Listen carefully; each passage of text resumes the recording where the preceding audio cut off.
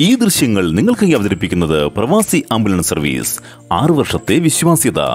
ഏറ്റവും മികച്ച two wheeler spare പാർട്സുകൾക്ക് എം ജെ ഓട്ടോമൊബൈൽസ് കോൺടാക്ടണം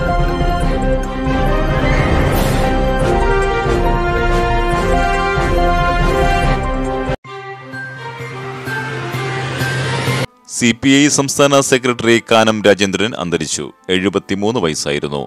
കൊച്ചിയിലെ സ്വകാര്യ ആശുപത്രിയിൽ പ്രമേഹ രോഗത്തിന് ചികിത്സയിൽ കഴിയവേ ഹൃദയാഘാതം ഉണ്ടായതിനെ തുടർന്നായിരുന്നു അന്ത്യം.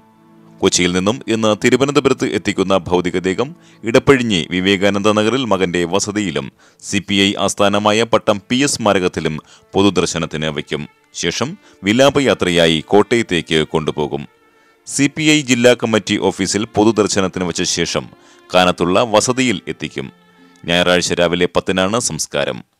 കാനം രാജേന്ദ്രന്റെ നിര്യാണത്തെ തുടർന്ന് തൃക്കാക്കര തൃപ്പൂണിത്തുറ പിറവം കുന്നത്തുനാട് എന്നിവിടങ്ങളിലെ നവകേരള സദസ് മാറ്റിവെച്ചു. രണ്ടായിരത്തി പതിനഞ്ച് മുതൽ സി പി ഐ സംസ്ഥാന സെക്രട്ടറി ആയിരുന്നു കാനം രാജേന്ദ്രൻ. ആരോഗ്യ കാരണത്താൽ സംസ്ഥാന സെക്രട്ടറി സ്ഥാനത്തു നിന്നും അവധിയെടുക്കുവാൻ ദേശീയ നേതൃത്വത്തിന് അപേക്ഷ നൽകിയിരുന്നു പിന്നാലെയായിരുന്നു മരണം സംഭവിച്ചത്.